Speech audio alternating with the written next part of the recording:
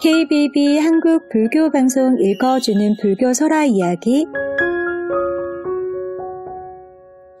안녕하세요. KBB 한국 불교 방송 읽어주는 불교 설화 이야기 신현정입니다.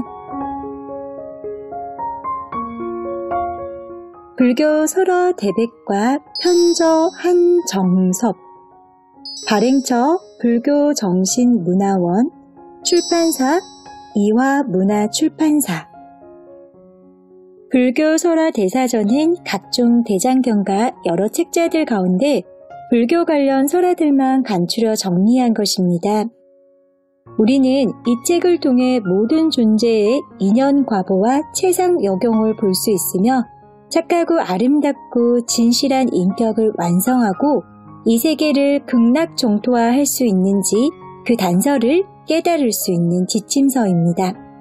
이 책은 상하 양군 1715페이지로 내용은 크게 비유, 본생, 인연, 인과 영원편으로 구성되어 있으며 어린아이들도 읽을 수 있을 정도로 쉬운 문장과 내용이 포함되어 있어 이야기가 전하는 깨달음과 울림의 깊이는 여타 처세서와 교육서 못지 않습니다. 어려운 불교를 친근하고 친숙하게 만나는 불교 설화 이야기를 바탕으로 작은 깨달음을 얻어 바른 삶을 실천하고 이로운 삶을 사는 불자가 되시길 바랍니다. 그럼 지금부터 KBB 한국 불교 방송 읽어주는 불교 설화 이야기 시작하겠습니다.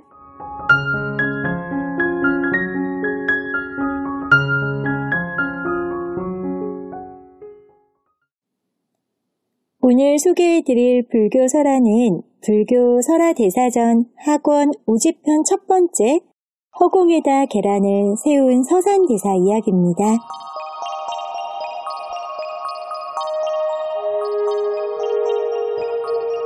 노영산을 한다름에 내려오던 한 스님이 있었다. 이발은 남루지만 그 위험은 천하를 압도하는 기풍을 지녔다. 축지법을 써서 평안도, 향해도, 경기도를 지나 강원도 금강산 장안사로 향하는 그 스님은 사명대사. 서산대사와 도수를 겨루기 위해 가고 있었다. 서산보다 23살이나 아래인 사명은 자신이 서산대사보다 술수가 아래라느니 옥다느니 하는 소문을 못 들은 채 했으나 풍문이 꼬리를 물고 퍼지자 돌연 실력을 겨뤄보기로 결심했다. 신출 기모란 서산의 실력을 모르는 터는 아니나 나의 묘기로 서산을 궁지에 몰아넣어 세상을 놀라게 해야지. 사명은 마음은 다급했다. 사명대사가 금강산 장안사 골짜기에 이르자 우거진 숲 사이로 흐르는 맑은 물소리는 천년의 정막을 흔들며 요란했다. 사명대사가 이 계곡을 오를 무렵 서산대사는 굴리던 연주를 멈추며 상자에게 말했다. 이 길로 산을 내려가 묘향산 사명대사를 마중하여라. 상자는 깜짝 놀랐다.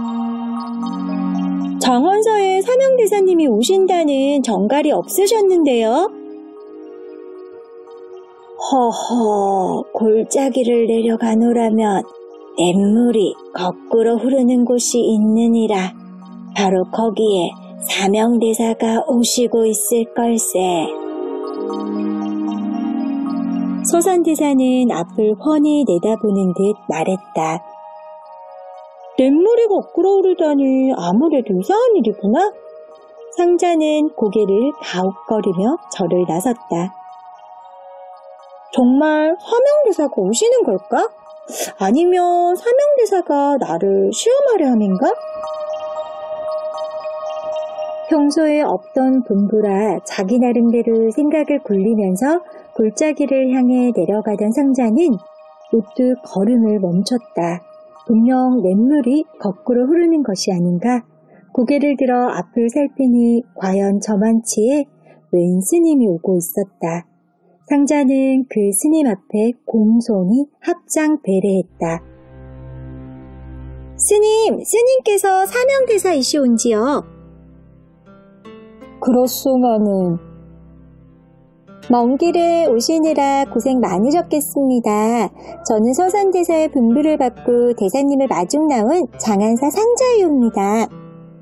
사명당은 내심 놀랬다. 서산대사가 어떻게 알고 마중까지 보냈을까? 마치 덜미가 잡힌 듯 아찔함을 느꼈다. 상자는 사명당의 앞장을 섰다.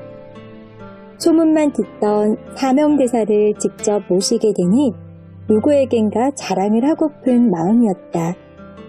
이윽고 장안사에 이르렀다. 그때 법당 문이 열렸다. 서산대사가 막 나가려는 찰나였다. 사명당은 인사할 틈도 주지 않고 공중에 날아가는 참새 한 마리를 잡아쥐곤 첫 말문을 열었다. 대사님, 제 소나기에 이 참새가 죽을까요, 살까요? 사명의 손안에 있는 새인지라 새가 죽고 사는 것은 사명당에게 달려 있었다. 이쪽도 저쪽도 택하기 어려운 질문 앞에 서사는 의연히 입을 열었다. 허허, 사명대사. 이 몸이 발이 지금 한 발은 법당에 있고 한 발은 법당에 나가 있는데 이 몸이 밖으로 나가겠습니까? 안으로 들겠습니까? 이 또한 난처한 질문이었다. 안으로 든다고 하면 한 발을 마저 밖으로 내놓을 것이요. 밖으로 나갈 것이라 답하면 안으로 들 것이니 잠시 생각에 잠긴 사명남은 멀리서 객이 오는데 밖으로 나오는 게 당연한 도리라 판단했다. 그야 밖으로 나오시는 거겠지요? 과연 그렇소이다. 사명당이 그 먼 길을 한다람이 오셨는데 어찌 문 밖에 나가 영접치 않겠소. 모든 답이 끝난 듯 서사는 사명에게 어서 올라올 것을 권했다. 그러나 사명은 손에 참새를 쥐고 있던 터라 답을 듣고 싶었다. 고맙소이다 대사님. 이 참새는 어찌 되겠습니까? 불도를 닦는 분이 어찌 살생을 하겠습니까? 서사는 거침없이 대답했다. 당대의 고승의 만남은 이렇게 시작됐다. 사명은 자기가 오게 된 사유를 말하고 이번엔 도수를 겨루자고 제안했다. 사명은 지고온 보찜에서 바늘이 가득 담긴 그릇을 하나 꺼냈다. 잠시 그릇 속에 바늘을 응시했다. 이게 웬일인가? 바늘은 먹음직한 국수로 변했다. 사명은 맛있게 먹으면서 서산에게도 권했다. 이를 지켜보던 서산 역시 국수를 먹었다. 그리곤 사명과는 달리 입에서 바늘을 뱉어 놓았다. 대단한 신술이었다. 사명은 다시 계란을 꺼내더니 한 줄로 곱게 쌓아 올렸다. 그러나 서사는 그 반대로 공중에서 계란을 쌓아 내려왔다. 사명은 초조해졌다.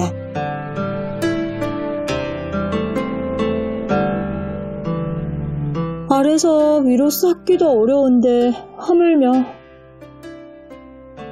사명은 열쇠를 눕혔으나 한 번 더 겨루기로 했다. 사명은 하늘을 우러렀다.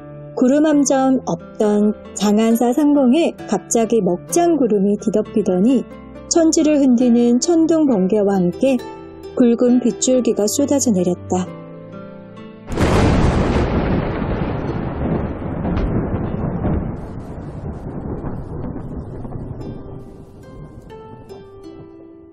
순식간에 땅의 모든 것을 삼킬 듯한 무서운 위세였다.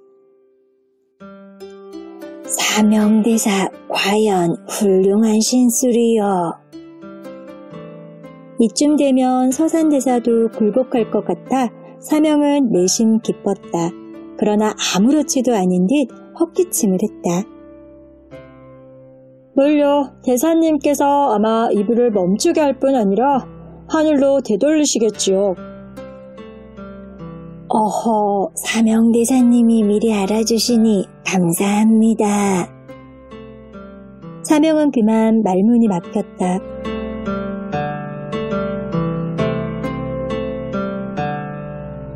서사는 좀 전에 사명처럼 합장을 한 채 하늘을 우러렀다. 숨 막히는 순간이었다.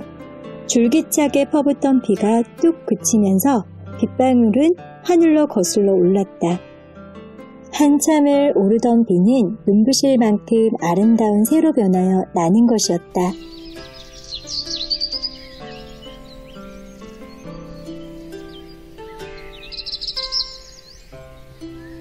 청명한 천지엔 새의 노래와 한으로 가득 찼다. 서산대사님, 진작 알아뵙지 못했습니다. 과연 만천하의 스승이옵니다. 부끄러운 몸이나 저를 제자로 삼아 법도에 이르도록 가르침을 내려주시옵소서. 사명당은 눈물로써 제자 되기를 간청했다. 서산대사도 마음이 흡족했다.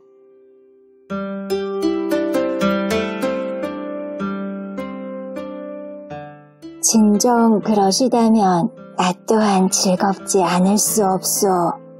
그대같이 슬기로운 제자를 맡게 되니 더없이 기쁘구려. 그들은 합장을 한 채 오래도록 부처님 앞에 서 있었다.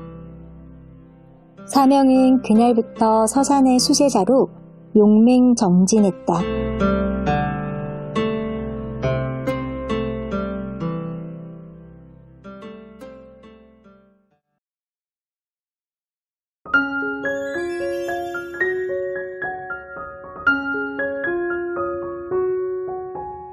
여러분, KBB 한국 불교 방송 읽어주는 불교 설화 이야기 여기까지입니다. 함께 해주셔서 감사합니다.